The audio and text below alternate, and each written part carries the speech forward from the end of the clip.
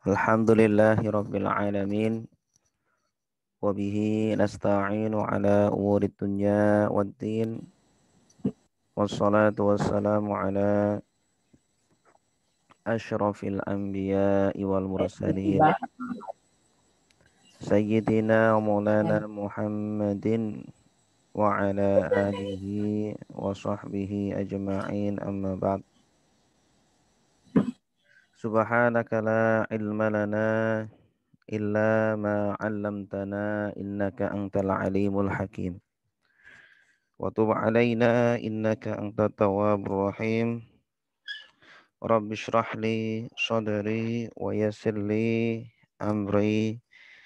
واحلل عقدة من لساني يفقه قولي. رضيت بالله ربا وبالإسلام دينا. وبمحمد نبيا ورسولا ربي زدني علما وارزقني فهما Amin ya rabbal alamin. Bapak-bapak, ibu-ibu jamaah kajian tafsir yang dirahmati Allah. Alhamdulillah pada pagi hari ini Allah masih terus memberikan nikmat-nikmatnya kepada kita. Kita ucapkan Alhamdulillah segala puji hanya milik Allah Subhanahu wa taala dan kita syukuri nikmat-nikmat tersebut dengan cara menggunakan nikmat-nikmat tersebut dalam ketaatan dan terus meningkatkan keimanan dan ketakwaan kita kepada Allah Subhanahu wa taala. Pada hari ini insya Allah kita akan melanjutkan kajian tafsir kita yaitu tafsir Al-Maraghi karangan Syekh Mustafa Al-Maraghi rahimahullahu taala rahmatan wasi'ah. Pada pembahasan lalu kita sudah membahas tentang awal-awal dari surah Al-Qalam. Nun wal qalami wa ma yasturun. Ma anta bi ni'mati rabbika bimajnun. Wa innaka la'ala khuluqin azim. Ila akhirih.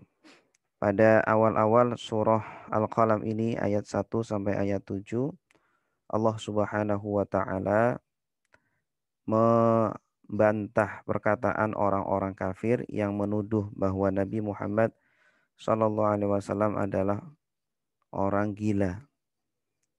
Mereka juga menuduh Nabi Shallallahu alaihi wasallam adalah seorang penyair atau seorang penyihir ya dan menuduh bahwa Al-Qur'an yang diturunkan kepada Nabi Muhammad SAW adalah buat-buatan ya buatan Nabi Muhammad Sallallahu alaihi wasallam.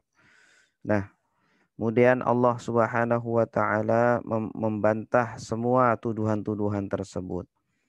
Dan Allah juga mengangkat Nabi Shallallahu Alaihi Wasallam dan menyebutkan wa innaka la ala khuluqin azim. Dan sesungguhnya engkau wahai Nabi berada di atas akhlak yang sangat agung.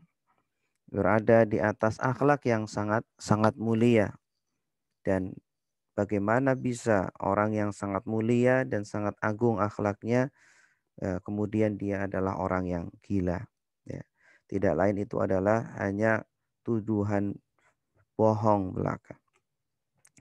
Nah, kemudian juga Allah menjelaskan bahwa Nabi Shallallahu Alaihi Wasallam akan mendapatkan pahala dan balasan yang tidak akan terputus-putus, karena Nabi adalah uh, orang yang pertama yang menyampaikan agama uh, ini, agama Islam ini dan ajaran-ajarannya dan yang akan diamalkan oleh seluruh umatnya sehingga apa yang dilakukan oleh umatnya itu berupa ibadah-ibadah akan dikirimkan pula pahalanya kepada Rasulullah Sallallahu Alaihi Wasallam. Wa inna laka la ghaira mamnun. Dan sesungguhnya bagimu wahai Muhammad pahala yang tidak terputus-putus sampai hari kiamat. Nah, setelah Allah Subhanahu wa taala menjelaskan tentang bantahan beliau kepada orang bantahan Allah kepada orang-orang kafir Mekah ya. Di awal-awal turunnya di awal-awal turunnya Al-Qur'an ini ya mereka langsung membantah dan e, menuduh Nabi dengan perkataan-perkataan yang tidak baik. Maka Allah e, membantah perkataan tersebut. Dan selanjutnya ayat ke-8 sampai ayat ke-16 insyaallah akan kita bahas pada pertemuan hari ini. Fala tuti'il mukadzibin. Maka janganlah kamu taati orang-orang yang mendustakan. Wahai Muhammad, janganlah kamu taati mereka, orang-orang yang mendustakan agama Islam ini mereka yang mengingkari Al-Quran ini. Jangan jangan kamu taati. Tetaplah kamu dalam pendirian. Ya, artinya dalam masalah pokok agama, ya janganlah kemudian kamu bersikap toleran kepada mereka. Ya, lakum dinukum waliyadin. Bagi mereka agama mereka dan bagi bagiku agama aku. Tidak boleh dicampur aduk.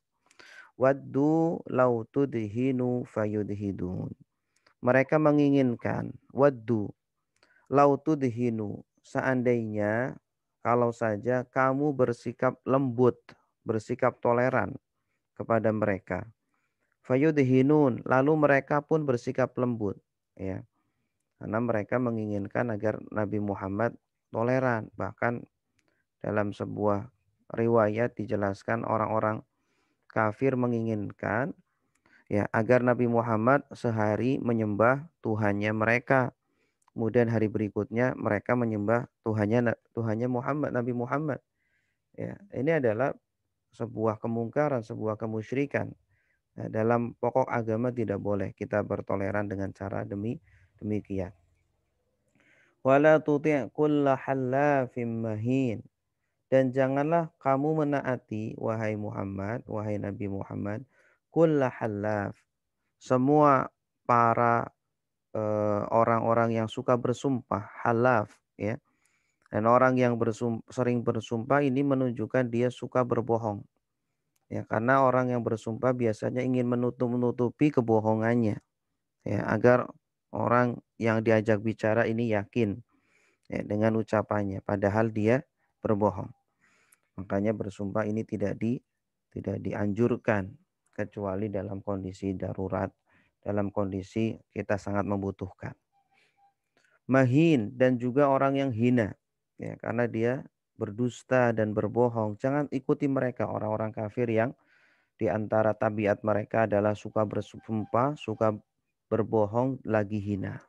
Hamazin, suka mengumpat, suka menyebut kejelekan-kejelekan orang ya hamas masya'in binamim suka menyebarkan berita-berita bohong ya. Suka menyebarkan fitnah-fitnah ya untuk merusak antara A dengan B atau antara satu suku dengan suku yang yang lainnya. Ini eh, suasana atau kondisi penduduk jahiliyah pada masa itu ya. Tersebar sifat-sifat yang jelek luar biasa di antara di antara mereka ya. Maka di zaman sekarang pun kita lihat banyak orang-orang yang hampir sama seperti di zaman jahiliyah, mudah untuk bersumpah, ya, mudah untuk menjelekkan orang lain, mudah untuk memfitnah, mudah untuk menyebarkan berita-berita bohong, mudah menyebarkan uh, hoak-hoak ya. Nah, ini apa bedanya dengan orang-orang jahiliyah uh, di zaman Nabi Shallallahu Alaihi Wasallam? Maka eh, ketika kita membaca Al-Quran seharusnya kita sadar betul, kita khusyuk, kita tadabur. Sehingga eh, sebisa mungkin ya Al-Quran yang kita baca menjadikan kita semakin takut kepada Allah, semakin memperbaiki akhlak kita. Makanya ada sebuah hadis mengatakan rubata lil Quran wal Quran yal'anuh. Rubata lil Quran. Banyak pembaca Al-Quran wal Quran yal'anuh namun Al-Quran melaknat dia. Namun Al-Quran melaknat dia. Kenapa? Karena dia membaca Al-Quran, namun dia malah melanggar aturan-aturan Al-Quran. Namun dia malah tidak mengambil pelajaran dari Al-Quran. Semakin jauh dari dari Allah. Mana'in lil khair. Ya, mana lil khair yang selalu mana mana bisa berarti dia tidak mau berinfak, tidak mau bersedekah terhadap harta atau rizki yang dia dia peroleh. Mana inil khair. Atau bisa juga berarti menghalangi terhadap kebaikan-kebaikan ya. Perbuatan-perbuatan baik malah dihalang-halangi. Perbuatan-perbuatan baik malah dibers, dipersulit. Ya sebagaimana mereka mempersulit Nabi SAW ketika berdakwah ingin menyebarkan agama Islam. Ini mu'tadin asi mu'tadin yang melampaui batas ya, yang perbuatannya itu sudah keterlaluan asim dan penuh dengan dosa-dosa perbuatannya ya tidak tidak tidak usah dengan ukuran agama, ukuran norma sosial pun mereka sudah melampaui melampaui batas ya. Fitrah manusia sudah bisa menjadi ukuran bahwa perbuatan-perbuatan mereka adalah perbuatan dosa, perbuatan yang tidak dibenarkan oleh fitrah manusia. Utullin ba'da dzalika zanim. Ya. Dia juga utul utul adalah bentar.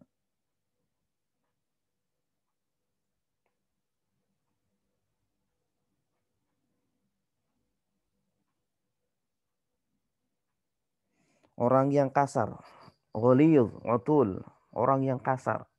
Ya jadi memang orang Arab itu eh, terutama di zaman sebelum Islam itu sangat kasar sekali.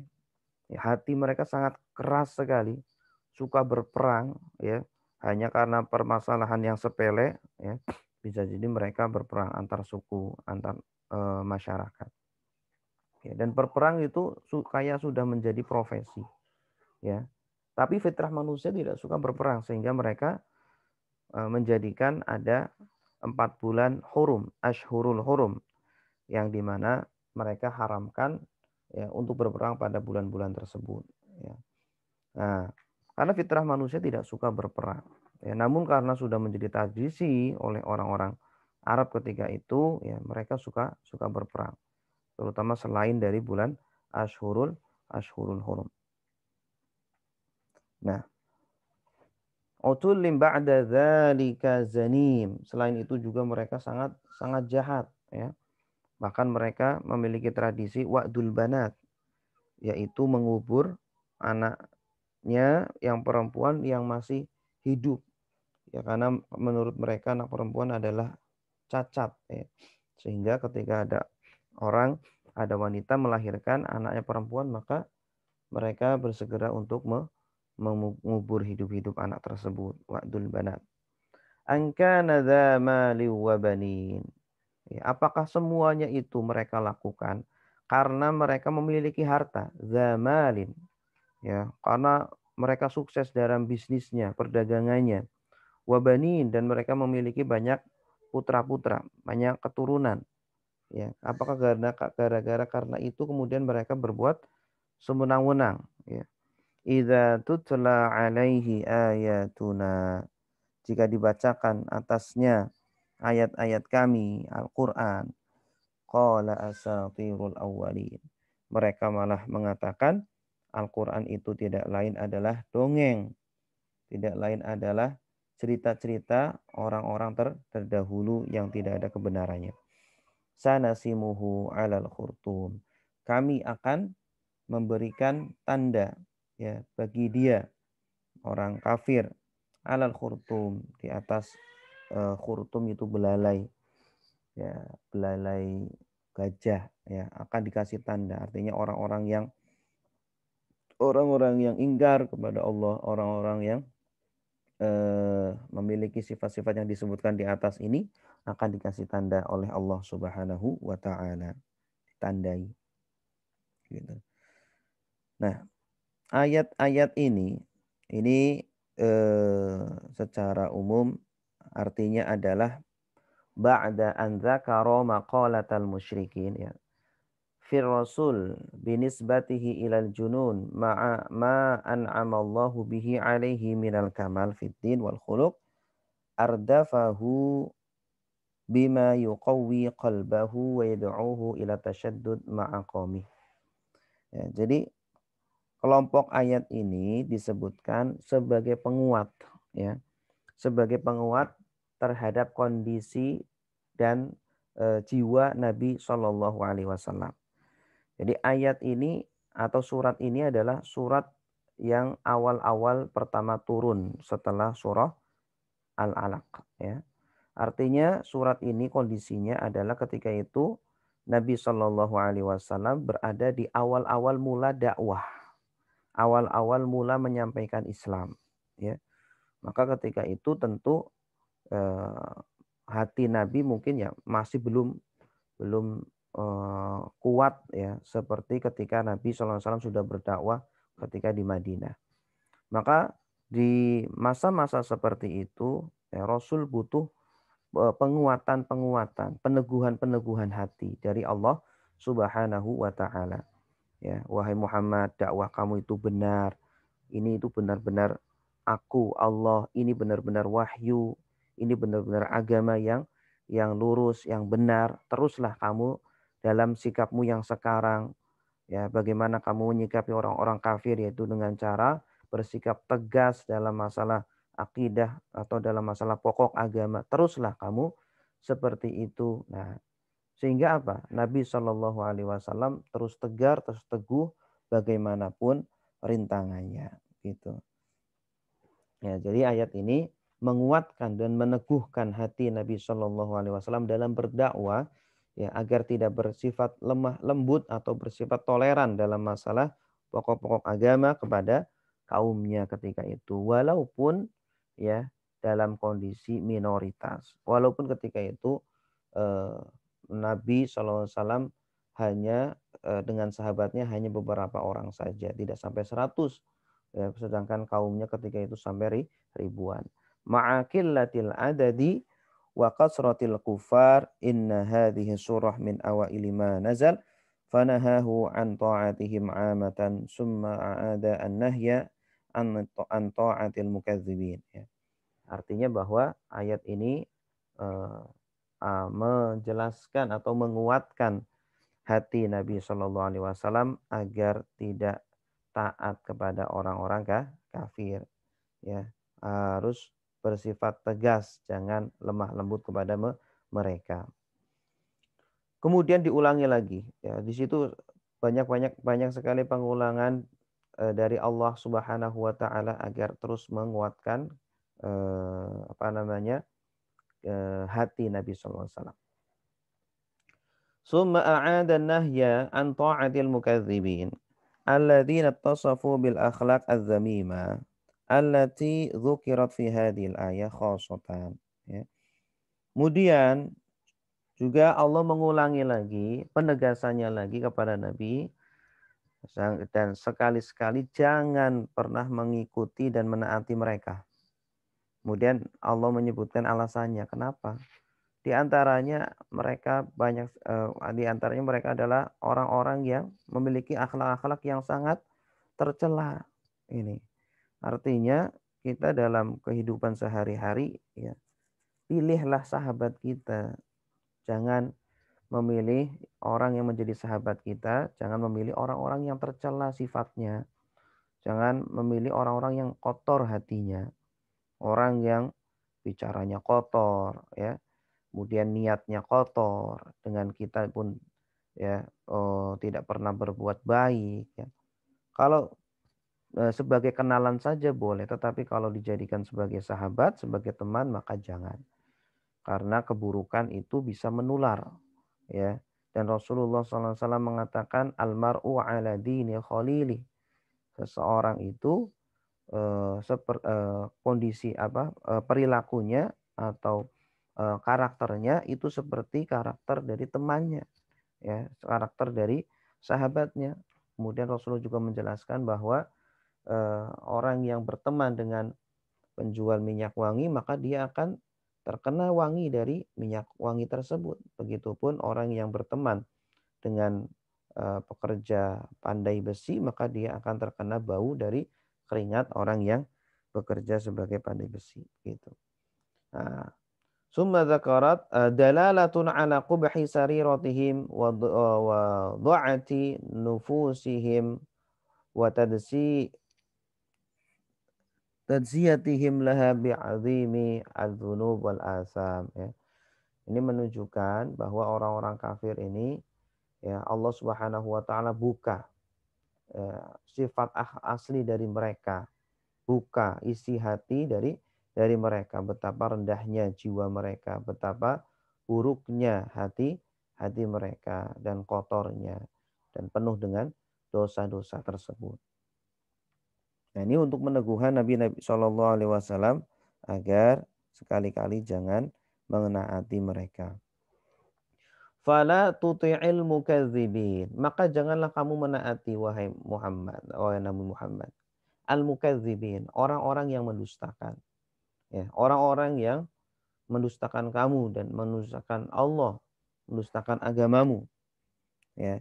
Wa fi hadhi wa fi hadha ima imaun ila nahyi an mudaratihim wa mudahanatihim istijlaban liqulubihim wa lahum ila ittiba'i. Nah, di sini ada isyarat ya, janganlah kamu menaati orang-orang yang mendustakan, ada isyarat bahwa jangan berlemah lembut dengan mereka, orang-orang orang-orang kafir yang mendustakan agama ini. Ya, terutama dalam bidang bidang masalah akidah. Ya, kalau kalau bisa ya kita eh, jangan menjadikan teman setia dari kelompok mereka dari orang-orang kafir. Kalau hanya sekedar kenal saja tidak apa-apa. Tapi kalau eh, sampai menjadikan teman setia, kalau bisa aja jangan gitu. Waddu lau tudhinu fayudhinun. Mereka orang-orang kafir menginginkan agar kamu bersikap lemah lembut ya bersikap eh, apa toleran gitu. Fayudhinun maka mereka pun akan bersifat toleran ya. Merayakan Natal bersama di gereja gitu. Nah, ya itu eh, apa dalam masalah akidah tidak boleh dalam masalah pokok agama tidak boleh. Namun dalam masalah cabang boleh silakan. Ya dalam kita berjual beli dengan mereka ya silakan. Kita belajar dalam masalah dunia ya boleh silakan kita punya eh, kenalan dari kelompok mereka ya silakan. Tapi dalam masalah eh, pokok-pokok agama maka kita tegas punya sikap yang jelas tegas. Tidak boleh kita kemudian eh, mencampur-campur dalam masalah pokok agama. Ini tegas di dalam Islam itu tegas gitu.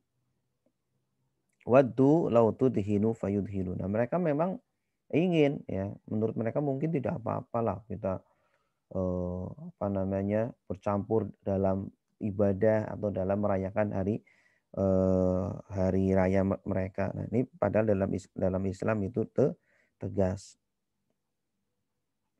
Kemudian wala tuti' kulla halafim mahin. Wala tuti' kulla halaf. Ay wala tuti' al-miksara minal halaf bil haqqi wa bil batil. Janganlah kamu mengikuti setiap orang yang suka bersumpah. Baik sumpahnya itu benar ataupun sumpahnya itu batil, ya, bohong. Ya. Artinya apa? Orang yang suka bersumpah itu cenderung ya dia itu adalah suka berbohong. Ya, walaupun mungkin terkadang betul benar yang dia sumpahkan, namun jangan eh, jadikan kebiasaan untuk sering mengucapkan kalimat-kalimat sum, sumpah. Ya, karena sumpah ini terkadang atau seringnya digunakan orang sebagai tameng untuk menutupi kebohong, kebohongannya. Wal kadhib yattaqi bi aimanihi al kadhiba allati yajtari'u biha 'ala Allah dha'fahu wa mahanatahu amama al-haq wa fihi dalilun ala adami istish'arihi al-khawf min Allah. Orang yang suka bersumpah menunjukkan dia itu tidak takut kepada Allah. Ya. Padahal kalimat sumpah ya Allah membawa nama-nama Allah dalam uh, ucapan kita ini harus benar-benar uh, dalam hal yang kita takutkan, dalam hal yang sakral ya. Kalau tidak perlu bersumpah ya tidak tidak perlu kalau tidak dibutuhkan untuk bersumpah tidak perlu di, diucapkan. Gitu. Wal kidbu ussu kulli. Dan berbohong ini adalah induk dari segala keburukan. Ya, orang kalau sudah berbohong, maka kemudian dia akan berbohong lagi, berbohong lagi untuk berbohong selanjutnya untuk menutupi uh, menutupi kebohongan dia yang pertama. Itu. Dan terus menerus dengan berbohong kemudian dia akan melakukan penipuan, dia akan melakukan penggelapan, dia melakukan hal-hal yang dilarang di dalam agama. Wa masdaru kulli maksiatin, sumber dari segala maksiat itu berbohong. Makanya dari awal kita harus biasakan untuk jujur. Ya, Orang kalau sudah jujur maka insya Allah akan melakukan kebaikan-kebaikan selanjutnya. Inna sidqa yahdi ilal bir. Wal bir yahdi ilal jannah. Sesungguhnya kejujuran itu akan membawa kepada perbuatan-perbuatan baik. ya Pokok-pokok perbuatan baik. Albir. Wal bir yahdi ilal jannah. Dan perbuatan baik, pokok-pokok kebaikan akan menunjukkan kepada surga. Sebaliknya, wal kidbu yahdi ilal fujur ya perbuatan bohong dusta itu akan mengantarkan kita untuk berbuat perbuatan fujur perbuatan maksiat maksiat ya perbuatan-perbuatan dosa ya wal fujur yahdi ilan nar. Dan perbuatan-perbuatan dosa itu akan menunjukkan kita kepada neraka. Mahin muhtakir ar-ra'yi wa tafkir. Yang hina pemikirannya, hina pendapatnya, ya, hina eh, prasangkanya. Jadi isi pikirannya kotor, isi pikirannya itu jelek, suka bersuudon kepada orang lain, berprasangka buruk. Ya, tujuan yang dia inginkan adalah hanya keinginan kenikmatan-kenikmatan dunia saja, yaitu. Ketika dulu seperti itu sahabat ya sebelum masuk Islam. Namun dengan datangnya Rasulullah membawa Al-Quran, membawa wahyu, merubah semuanya menjadi orang-orang yang sangat lembut, orang-orang yang sangat baik, orang-orang yang eh, para sahabat yang bisa membawa perubahan di seluruh dunia ini. Hamazin ayya ta'an ini. Akhlak buruk selanjutnya dari mereka orang-orang kafir adalah hamaz yang suka menghina. Ya, dan ini perbuatan yang tidak baik walaupun dalam bercanda Jangan ber, janganlah bercanda dengan cara menghina orang. Ini. Yang karena apa? Bagaimanapun bercanda tidak boleh walaupun eh bagaimanapun menghina tidak boleh walaupun dalam konteks ber, bercanda. Kalau bisa kita jauhi perbuatan itu. Ya. Ta'an suka menyebutkan ke kekurangan orang lain ya nas bil makruh ya. Baik di hadapannya atau di belakangnya. Baik orangnya ada atau ketika orangnya tidak tidak ada gitu ya walaupun mungkin dia tidak tidak apa namanya tidak apa-apa ya tidak merasa tersakiti namun jangan dibiasakan karena uh, bisa jadi akan me, apa, membuat marah orang yang bersangkutan. Wa yanalu min a'radihim bidzikri masalibihim ya. Akan menjadikan harga dirinya jatuh harga dirinya rendah di mata orang. Uh, dia itu menjadi orang yang aduh orang yang biasa. Hanya menjadikan semua orang menyebut dia dengan eh, dengan sebutan yang buruk. Padahal cuma kita saja awalnya. Namun gara-gara kita kemudian menyebut di hadapan umum akhirnya semua orang menyebut dengan eh, sebutan-sebutan yang buruk. Ya sebaliknya kita di dalam Islam itu dianjurkan untuk menyebut kebaikan-kebaikan orang itu selagi ketika kita sebut di hadapannya tidak membuat dia som sombong ya. Kita sebagaimana diharamkan untuk menghina orang atau menyebut keburukan orang maka kita dianjurkan untuk menyebut kebaikan kebaikan orang. Selagi ketika disebutkan tidak menjadikan dia sombong atau takabur atau ria masyain ya. Masya orang yang suka uh, menyebarkan. Dari kata masya berjalan ke sana kemari. Binamim dengan berita bohong. Ayat nakal yang suka memindahkan atau menyebarkan. Lil hadis min qaumin ila qaumin ala wajhil ifsad bainahum. Suka menyebar berita bohong, suka menyebar fitnah untuk mengadu domba ya antar satu orang dengan orang lain atau satu kelompok dengan kelompok kelompok lain agar bertengkar, agar bermusuhan. Nah, ini adalah perbuatan uh, dosa besar, tidak boleh. Ya. Kalau ternyata kita memiliki sifat seperti ini, ya berarti kita sama dengan orang-orang jahiliyah pada zaman zaman dahulu dan sekarang sudah dengan tersebarnya media sosial ya. Orang betapa, betapa mudah untuk menyebarkan berita-berita bohong. Terkadang dia mengira dia berbuat baik. Dia mengira berbuat, wah, wow, masya Allah untuk Islam ini adalah jihad, jihad, jihad dengan apa? Eh, virtual, jihad dengan menyebarkan kebaikan-kebaikan. Eh ternyata yang dia sebarkan adalah malah dosa-dosa atau yang dia sebarkan adalah berita-berita boh bohong. Manna'il lil khair ay bakhilun bimali ya. Mereka juga bakhil kikir dengan hartanya, mumsikun lahu yang terus memegang hartanya. La la yajudu bihi ladal ba'sa wad tidak suka untuk berbuat derma baik dalam kondisi lapang ataupun dalam kondisi eh, terutama dalam kondisi sulit ya dalam kondisi kekurangan ya mereka tidak mau ber, berdema fahuwa la yadfa auzal mu'wazzin ya tidak suka memberikan pertolongan kepada orang-orang yang membutuhkan. Wala yusaidul muhtajin al baisin wala yunajjidul ummah. Idza hasabahal al amr wa daqat biha subul khadafi aduwin yuhajibul bilad au daf'i karisatin nazalat biha tahtaju ila badli al mal ini di antara eh, puncak kebaikan seseorang adalah suka memberi. Ya suka berinfak suka bersedekah ini ketika dia dermawan ketika dia mudah pemurah memberikan hartanya ini menunjukkan bahwa hatinya itu bersih. Menunjukkan bahwa imannya itu benar ya. Imannya itu jujur di dalam hatinya bukan iman yang boh bohong. Karena sodakoh kenapa dinamakan sodakoh? Berasal dari kata sodakoh artinya benar.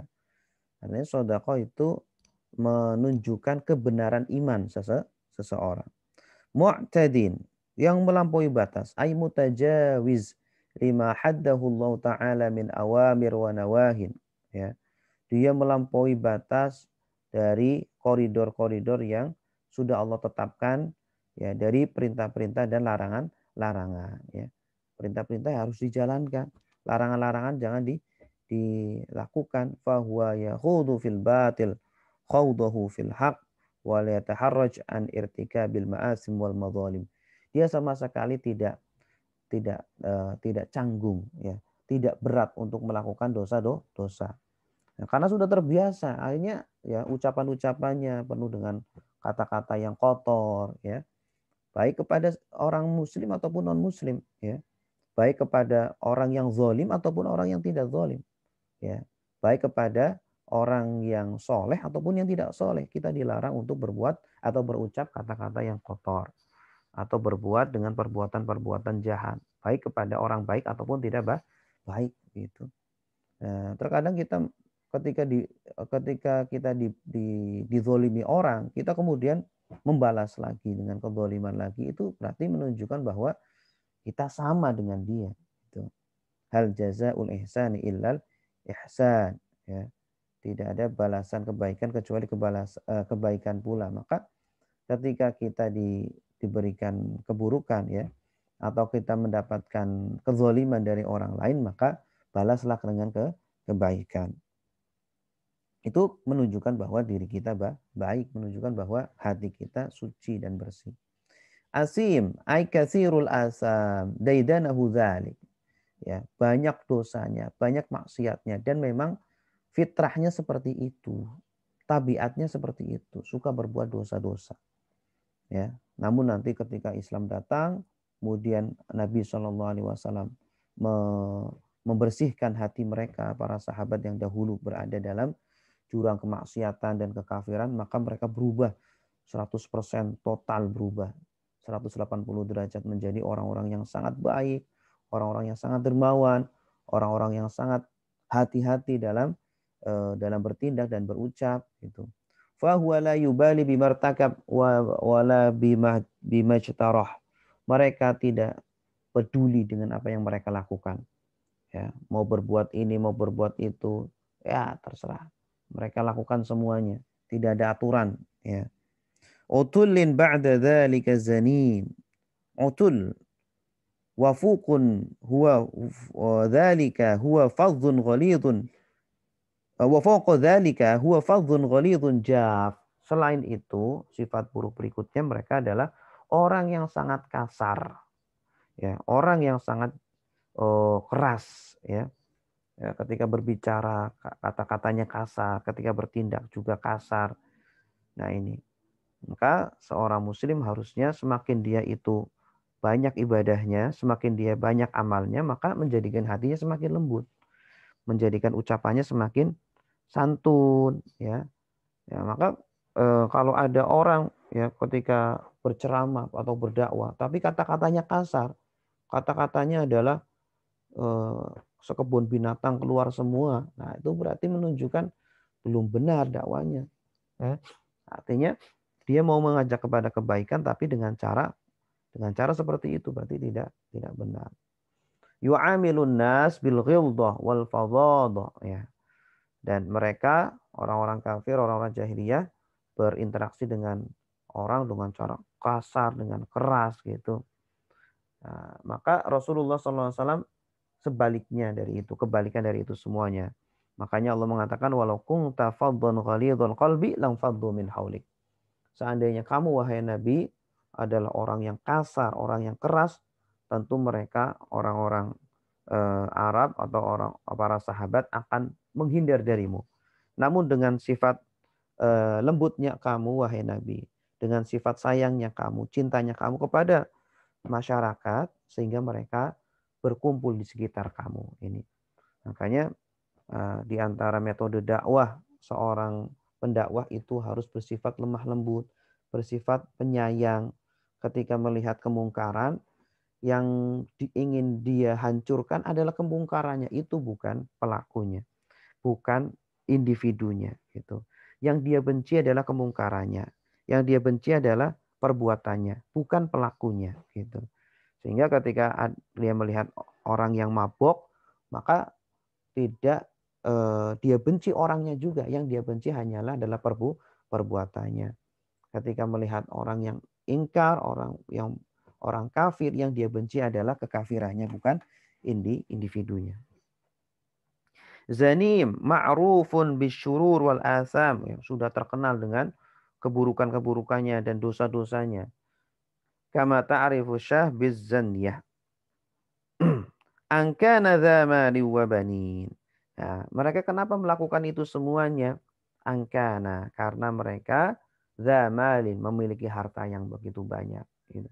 Karena memang uh, fitrahnya manusia seperti itu. Biasanya ketika dia sudah terpenuhi hartanya, kebutuhan-kebutuhannya, hidup dalam kondisi mewah, biasanya mereka uh, ya dia itu sombong. Biasanya dia itu berbuat semaunya. Biasanya dia itu zolim kepada orang orang lain. Namun sebaliknya orang yang biasanya fakir, miskin, tidak punya harta sedikit pun biasanya adalah orang yang orang yang uh, rendah hati, orang yang tidak macam-macam, orang yang tidak berani menzolimi orang orang lain ini. Walaupun tidak semuanya. Ya, tapi kalau orang yang punya harta banyak, punya pasukan banyak, punya kelompok banyak, ah, biasanya menjadikan orang itu kemudian sombong, menjadikan orang bertindak semena-mena kepada orang lain. La tuti' man hadhihi masalibuh min jara'i malihi wa kasrati awladihi wa taq wa taqawwihi bihim. Fa inna dhalika la yajdihi naf'an inda rabbih kama qala subhanahu yauma la yanfa'u malun wala banun illa man atallaha biqalbin salim. Wahai Muhammad, walaupun kamu dalam kondisi sedikit, ya, pasukan kamu sedikit, tidak sampai 100, ya, kamu baru, ya, sedangkan musuh-musuh kamu atau orang-orang yang menentang dakwahmu adalah ribuan, ya, hartanya banyak, modalnya banyak, keturunannya juga banyak, ya, pengikutnya juga banyak, jangan terpengaruh atau jangan eh, takut dengan mereka tetap tegarlah, tetap bersabarlah dengan dakwahmu itu walaupun kamu baru kamu baru mendakwahkan Islam ini ya. Jangan khawatir kamu anaknya tidak banyak, jangan khawatir, pengikutnya tidak banyak, jangan khawatir. Hartanya tidak banyak, jangan khawatir. Tetap teguh karena kamu dalam kebenaran. Ya, karena harta dan anak tidak memberikan manfaat sedikit pun nanti di di hadapan Allah. Yauma ya yauma la yanfa'u malun wala banun illa man atallaha biqalbin salim. Hari di mana tidak bermanfaat harta dan anak-anak kecuali yang datang kepada Allah dengan hati yang selamat. Hati yang bersih, hati yang su suci. Idza tutla alaihi ayatuna qala asatirul awwalin. Nah, berikutnya yang menjadi sifat mereka orang-orang kafir di antaranya adalah jika dibacakan Al-Quran, jika dibacakan ayat-ayat Allah, ya disampaikan Islam, disampaikan ajaran yang benar, mereka malah menghina, mereka malah mencemooh, malah mereka mengatakan bahwa Al-Quran ini adalah dongeng-dongeng saja, artinya bersifat fiktif, tidak nyata. Ya, Al-Quran adalah buatan manusia. Al-Quran adalah sihir. Al-Quran adalah bait-bait syair. Ini. Ai idza tuliya alaihi al-Quran. Qala ma huwa illa min kalamil bashar. Itu kan cuma bikinan Muhammad itu. Itu kan cuma bikinan manusia. Wa min qasasil awwalin au duwinat fil kutub wa laysa huwa min indillah. Atau mereka mengatakan ini hanya dongeng-dongeng uh, umat-umat terdahulu, bukan dari Allah Subhanahu wa taala. Wa nahwul ayat dan seperti dengan ayat itu adalah ada ayat yang hampir sama dengan ayat yang tadi. Zarni wa man khalaqtu wahida. Wa ja'altu lahu malam mamduda. Wa banina syuhuda wa mahattu lahu tamhida. Summa yatamau an azid. Kalla innahu kana li ayatina anida. Saurhiquhu sa'uda. Innahu fakkara wa qaddar. Faqutila kaifa qaddar summa qutila kaifa qaddar summa nazar summa abasa wa basar summa adbara wastakbar faqala in hadha illa sihrun yu'sar ya. Nah, ayat ini membicarakan tentang ya, sifat orang kafir ketika mereka melihat ayat Al-Quran, awal-awalnya itu mereka tercengang dan terkagum-kagum. Nah, karena baru mereka dengar susunan ucapan-ucapan yang sangat dahsyat luar biasa. Syair bukan, narasi juga bukan. Ya, nasar juga bu, bukan. Kemudian isinya juga sangat tinggi, sangat dalam. Kemudian nilai sastranya juga sangat sangat tinggi. Ya, bahkan mereka diminta untuk membuat satu surat saja tidak tidak sanggup. Awal-awal mereka terkagum-kagum, luar biasa. Ini, ini pasti bukan buatan manusia ini, mungkin buatan malaikat ini, atau buatan Tuhan ini. Nah, awal-awal seperti itu, kemudian mereka berpikir-pikir lagi, ah kalau saya mengikuti Muhammad, nanti saya di, kehilangan e, jabatan saya nih sebagai pemimpin di kaum saya ini. Kalau saya mengikuti Muhammad, bisnis saya tidak jalan lagi ini. Dan seterusnya. Akhirnya mereka apa? Eh, tidak jadi beriman. Padahal fitrah manusia, fitrah kemanusiaan mereka itu ingin beriman. Namun karena nafsu sudah eh, mengalahkan mereka, syahwatnya sudah mengalahkan mereka sehingga mereka eh, tidak bisa mengatakan tidak bisa mengatakan tidak bisa beri, beriman. Sanasimuhu 'alal khurtum akan kami beri tanda kepada dia di atas khurtum hidungnya atau belalainya. Aisana ja'alu lahu simatan wa alamatan ala anfi. Akan kami berikan tanda, jadikan tanda ya pada hidungnya. Wal murad anna sanubayyinu amrahu bayanan wadihan hatta la yakhfa ala ahadin kama la yakhfa simah ala khurtum. Maksudnya adalah akan Allah buka rahasia-rahasia mereka, orang-orang kafir. Orang-orang kafir yang suka menuduh Nabi Muhammad dengan tuduhan-tuduhan bohong, akan Allah buka kedok-kedok mereka. Kebohongan-kebohongan mereka dengan eh, apa namanya sangat jelas ya sehingga masyarakat semuanya tahu sehingga kemudian masyarakat akan paham bahwa selama ini yang dituduh sebagai pembohong ternyata adalah orang yang jujur, orang yang amanah, seorang nabi, seorang roh, rasul sehingga nanti Nabi Shallallahu Alaihi Wasallam menjelang wafatnya orang-orang Arab sudah pada masuk masuk Islam karena sudah terbukti ternyata selama ini Nabi Muhammad adalah benar-benar seorang nabi, seorang roh, rasul gitu. Ya, seolah-olah seperti ketika nanti terbuka kedok mereka, mereka itu berubah menjadi eh, hewan, binatang, gajah yang memiliki apa? Eh, hidung yang panjang, ya. Jadi hidung yang panjang ini eh, di dalam Al-Qur'an juga di apa di apa namanya? diumpamakan seperti apa sebagai bentuk pengumpamaan orang yang suka berbohong. Ya mungkin ya sejarahnya wallahu alam ya. Kenapa Pinocchio itu ketika berbohong hidungnya menjadi panjang mungkin ya terinspirasi dari ayat ini juga gitu ya.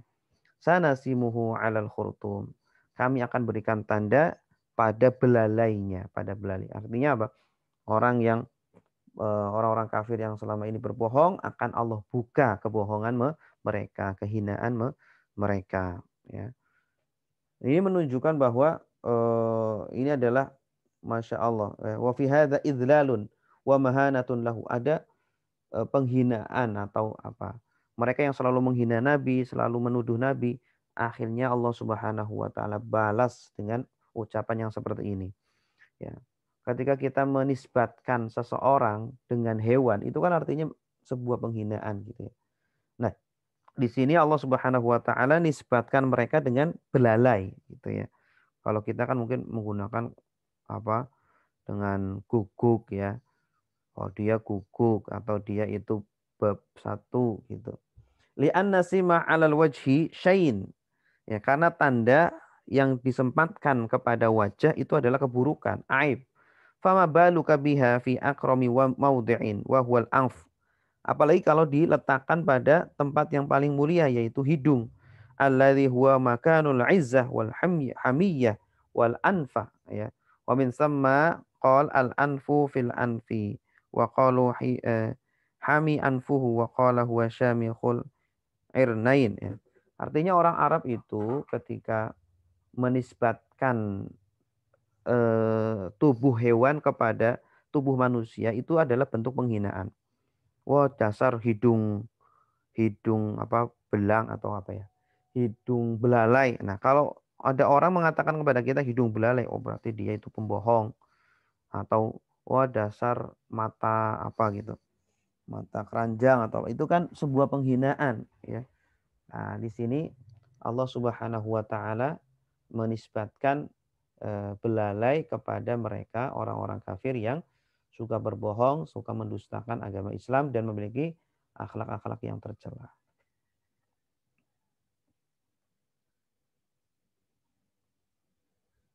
Ya, wallahu a'lam bishawab. Nah ini. Wal khulasa sanudhilluhu fid dunya ghayatal idlal.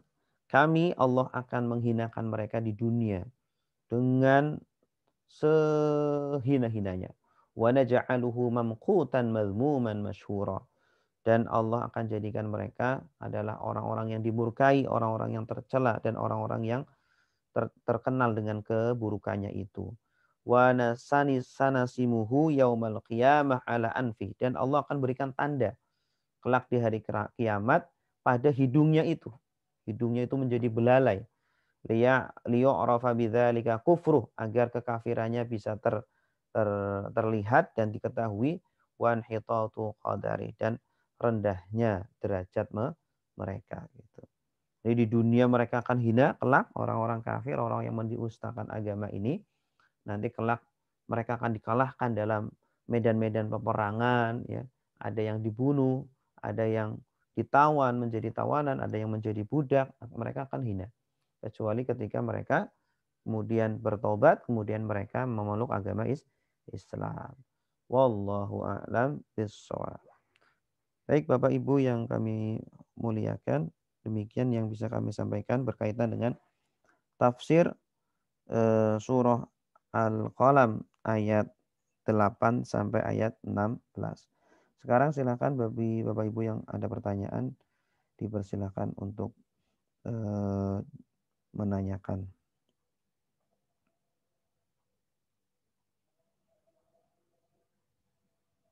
Silakan nyalakan audionya atau boleh juga ditulis ya. Assalamualaikum Tad. Waalaikumsalam warahmatullahi wabarakatuh. Uh, izin bertanya Ustaz. Ya silakan Pak Marto. Uh, tadi di pertengahan menjelaskan rubah qiraatil Qur'anu al-Qur'anu yang anuh ya. Mm -hmm. Itu kita membaca Al-Quran bisa dilaknat ketika kita sudah mengetahui maknanya terus tidak melakukannya apa kita baru belajar membaca tapi belum bisa tajwidnya dan yang termasuk di laknat ini yang tergolong yang seperti apa gitu. Iya. Terima kasih. Yang dilaknat di sini ada dua macam ya. Yang pertama adalah orang yang membaca Al-Qur'an tapi tidak sesuai dengan tajwidnya padahal dia itu sudah diberi kesempatan oleh Allah untuk belajar. Ya, orang yang sudah dikasihkan kesempatan oleh Allah, diberikan umur, diberikan waktu, diberikan fasilitas untuk belajar, tapi dia nggak mau belajar. Dia nggak mau belajar tajwid, dia nggak mau belajar tahsin, memperbaiki bacaan Al-Quran. Kemudian dia baca Al-Quran, salah-salah, tajwidnya ditabrak gitu ya. Makhorijul hurufnya ditabrak-tabrak, hukum-hukum tajwid tabrak-tabrak. Nah itu naudzubillah dilaknat. Kenapa? Ya nggak nggak perlu hadis ini pun dia sudah berdosa. Karena e, Al-Quran itu diperintahkan untuk dibaca dengan tajwidnya. tilil Qur'ana tartila. Dan bacalah Al-Quran dengan tartil, dengan tajwidnya. gitu. Tanpa hadis ini pun dia sudah berdosa sebenarnya gitu. Atau yang kedua, nah, yang kedua adalah orang-orang yang membaca Al-Quran, ya, namun dia menabrak dia menabrak aturan-aturan Al-Quran ya, ya aturan-aturan Al-Qur'an ya, seperti langgar pelanggaran-pelanggaran atau larangan-larangan ya. Ya eh dia membaca Al-Qur'an tetapi dia ucapannya kotor, tetapi dia eh, mencuri, tetapi dia berzina, tetapi dia ya dan seterusnya gitu ya. Artinya kita seharusnya membaca Al-Quran itu dengan khusyuk, dengan tadabur, dengan memahami, sehingga menjadikan kita semakin semakin uh, dekat kepada Allah, semakin takut kepada Allah. Ya, jadi Al-Quran dibaca bermanfaat bagi kita. Memang sih membaca Al-Quran tanpa tahu maknanya itu berpahala. Tetapi alangkah baiknya ketika kita membaca Al-Quran, kita tahu maknanya sehingga semakin banyak ya, kita hatam Al-Quran, semakin uh, kita takut kepada Allah. Semakin kita mengamalkan isi-isi dari dari Al-Quran itu. Ya. Karena mengamalkan isi dari Al-Quran adalah wajib. Setiap kita adalah wajib. Gitu. Maka belajar memahami Al-Quran wajib. Ya, kita semuanya wajib mempelajari agama ini. Ya, wajib kita belajar bagaimana mensucikan hati kita, belajar uh, akhlak, belajar sifat sombong. Sifat sombong itu apa sih? Ya, sifat uh, apa namanya? sifat riak itu seperti apa sih? Nah, kalau kita nggak belajar itu, kita bisa jadi melakukan sombong tapi kita nggak nyadar. Kita merasa melakukan kebaikan padahal kita sombong. Kita melakukan perbuatan ibadah pamer padahal eh, kita mengiranya itu adalah ibadah padahal yang kita lakukan adalah apa? pamer. Wallahu a'lam. Baik, Terima kasih, Tad. Ya, sama-sama.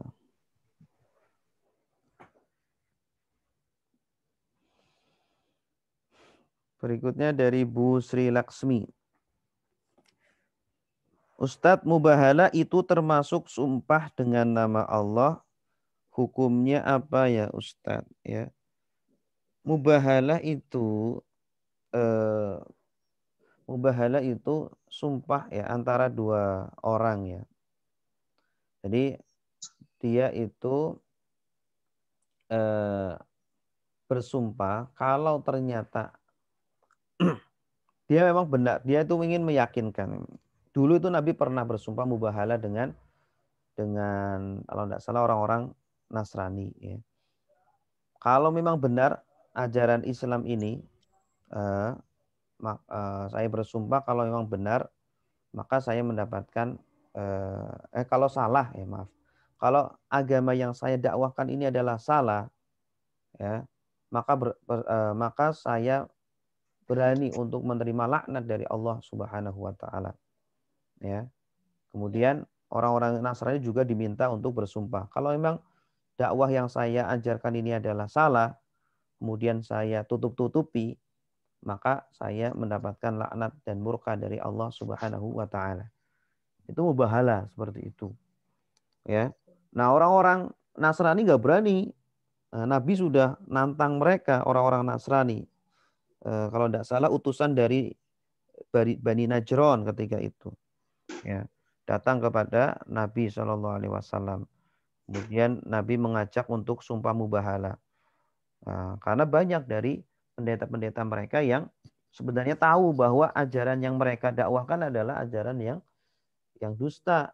Nah, tetapi mereka terus melanjutkan ajaran-ajaran tersebut. Nah, Nabi menantang mereka untuk mubahala. Ya, kalau kalian memang yakin benar itu ajaran, ayo kita mubahala. Atau jangan-jangan kalian itu sebenarnya tidak yakin gitu. Iya, Berarti boleh ya, Ustaz?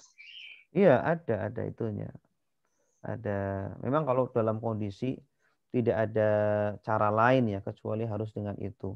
Karena ketika itu orang-orang e, Nasrani ketika itu diajak debat, udah nggak bisa jawab sebenarnya. Hmm, tapi tidak mau, tetap tidak mau masuk masuk Islam. Akhirnya apa? Jalan terakhir yaitu sumpah itu. Berani nggak mereka sumpah gitu. Agar menjadi pelajaran bagi orang-orang yang hadir ketika itu. Ya, orang-orang yang melihat belajar, oh ini berarti benar-benar ini. Kalau di dalam uh, rumah tangga itu ada namanya uh, apa itu namanya? li'an ya, li'an. Jadi kalau ada uh, suami menemu mendapati istrinya ternyata uh, di di kamar berduaan dengan laki-laki lain gitu. Nah, mungkin suaminya ini uh, tidak terima dan menuduh istrinya itu berbuat si zina gitu. Tapi istrinya tidak tidak mengakui ya, tidak mengakui. Ya, kemudian bagaimana agar uh, apa namanya? Uh, agar kan kalau menuduh wanita berbuat zina itu kan kalau bisa jadi wanitanya dirajam ya kalau memang benar bisa jadi apa laki-lakinya ini malah dicambuk ya dicam dicambuk karena hukuman menuduh orang lain berbuat zina itu di dicambuk nah kalau ingin kedua-duanya ini tidak dicambuk tidak dihukum atau tidak dirajam maka harus berlian bersumpah lian. Ya sumpahnya lima kali.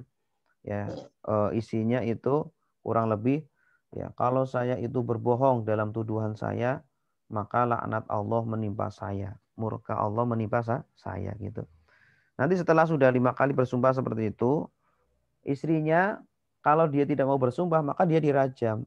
Tapi kalau dia mau bersumpah maka tidak dirajam. Sumpahnya sama seperti tadi. Kalau saya bohong dan kalau suami saya benar maka saya mendapatkan laknat dan murka dari Allah. Jadi besar itu perkara besar kayak gitu. Ya. Hmm. Makasih. Ya, sama-sama, Bu. Silakan yang lain.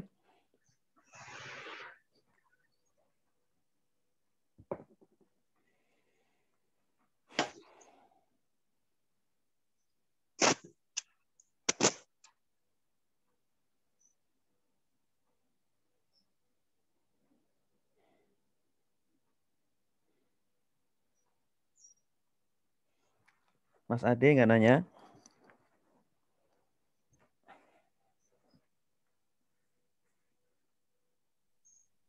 Awan Ustaz sambil ngomong bayi agak repot.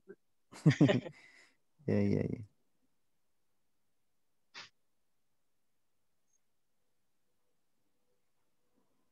Oh ya, uh, izin bertanya Ustaz. Ya. Uh, tadi terkait bahasan ada sedikit pembahasan tentang masalah toleransi Ustaz ya toleransi antar umat beragama dengan seperti yang kita ketahui sebelumnya itu sempat viral tuh. Jadi ada yang bawa tumpeng ke gereja. Nah, itu yang kayak seperti itu. Tuh. Ada yang apa? Bawa tumpeng ke gereja. Ngapain? Nah itu nggak tahu. Mm. Ya dalih dalihnya itu toleransi. yang saya tanyakan tuh seperti ini Ustaz. Uh, itu kan menyikapi fenomena seperti itu ada dua pendapat ulama ya. Ada yang begitu tegas katanya nggak boleh.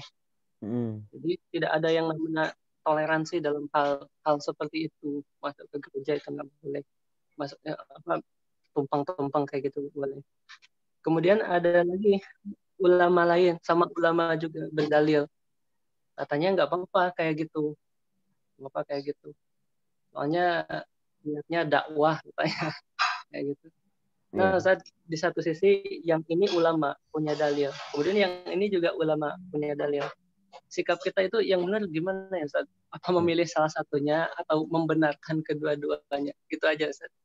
Iya, iya. Ya, yang pertama, apakah dengan mengirim tumpeng ke gereja itu menjadikan mereka itu kemudian condong untuk masuk Islam, menjadikan mereka itu tertarik untuk masuk Islam. Ya, atau apakah uh, ada orang yang masuk Islam dengan perbuatan yang seperti itu sudah terbukti atau tidak gitu. Kemudian apakah bertoleransi agama itu caranya hanya itu saja? Ya, dengan cara mengirimkan tumpeng atau dengan cara ikut merayakan Natal ya. Atau jangan-jangan masih banyak lagi cara-cara yang lain yang jelas-jelas dihalalkan oleh agama dan justru mungkin menjadikan orang-orang eh, kafir, eh, orang-orang non Muslim kemudian masuk Islam. Gitu. Justru kalau kita lihat itu kan orang-orang masuk orang-orang non Muslim masuk Islam itu karena apa? Karena akhlak-akhlaknya orang-orang Islam yang bermuamalah dengan jujur, bermuamalah dengan baik, kemudian berdakwah dengan lemah lembut gitu di masjid ya. Tidak kemudian makanya di dalam Al-Qur'an pun ada larangan Eh, kita eh, kita dilarang untuk menghina Tuhan-Tuhan mereka ya kesembahan mereka karena ditakutkan mereka pun akan menghina Allah ya, ya. karena ditakutkan mereka menghina Islam itu maka cukuplah dengan menampakkan akhlak yang mulia dengan perbuatan kita kita mengamalkan ibadah kita sendiri memperlihatkan syariat Allah yang luar biasa dulu di zaman Perang Dunia Satu, Turki Utsmani pernah mengirim pasukan ke Korea. Mungkin saya pernah cerita di sini. Mau ribuan pasukan dikirim ke Korea sana, entah untuk misi apa ya. Nah, setelah dikirim ke sana, mereka bukan seorang, bukan para ustadz, bukan para dai, bukan ulama, namun tentara-tentara. Ya, namun tentara-tentara ini adalah orang-orang Islam yang taat beragama. Ketika di Korea sana, mereka menjalani kehidupan setiap datang waktu sholat mereka langsung sholat berjamaah. Mereka ambil wudhu ya dengan rapi, sholat membuat barisan dengan sangat rapi. Kemudian eh, kebiasaan yang seperti itu diperhatikan ternyata oleh orang-orang Korea. Ini eh, kok bagus sekali setiap waktu ada eh, apa namanya ada ibadah seperti itu. Akhirnya mereka penasaran nanya, kalian itu dari mana? Gitu. Kalian itu agamanya apa? Gitu. Yang kalian lakukan setiap kali jam sekian jam sekian ngapain ngapain? Gitu akhirnya dijelasin kami orang Islam. Eh, kami setiap jam sekian harus beribadah harus sholat. Sebelum sholat menghadap Tuhan kami kami harus berwudu bersuci dulu gitu. Akhirnya dengan dengan seperti itu akhirnya ribuan dari uh, rakyat Korea masuk Islam. Padahal tidak pernah mereka berceramah di hadapan mereka. Tidak pernah kemudian mereka ayo mengajak kepada agama Islam. Jadi dakwah bilhal. Ya, terkadang dakwah bilhal itu lebih lebih mengena daripada dakwah bil makol dengan ucapan uh, ucapan, apalagi dakwah dengan mengumpat-ngumpat, dengan menghina-hina gitu ya. Namun akhlak yang mulia ini jangan kebablasan oh, karena kita ingin memperlihatkan oh, apa rahmatan alaminya Islam kemudian kita iya. ikut Natalan bersama kemudian ikut uh, ke gereja ya. Iya. karena dikhawatirkan apa? Uh, dikhawatirkan menjadikan mereka itu malah semakin yakin oh ternyata agama Kristen benar ya. Ternyata agama uh, kita dengar ya. Ternyata mereka orang-orang Islam pun sepertinya mendukung nih agama yang ini. Ah ini malah berbahaya nanti. Malah menjadikan mereka tidak mau masuk Islam ya. Jadi justru kita itu harus harus apa? Harus ada di dalam hati kita mengingkari perbuatan mereka. Mereka beragama dengan agama yang mereka peluk di dalam hati kita saja ya. Jangan tidak perlu kita kemudian ungkapkan oh saya tidak uh, suka dengan agama nggak usah gitu ya.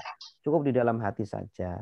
Adapun ketika menjelaskan kesesatan mereka cukup di komunitas kita sa saja gitu. Jangan kemudian di share ke mana-mana sehingga akan menjadikan fit fitnah akan menjadikan panas atau uh, apa permusuhan antar antar uh, pemeluk beragama gitu. Wallahu a'lam. Ya. Makasih Ustaz untuk ya. pencatatannya. Ya, sama-sama.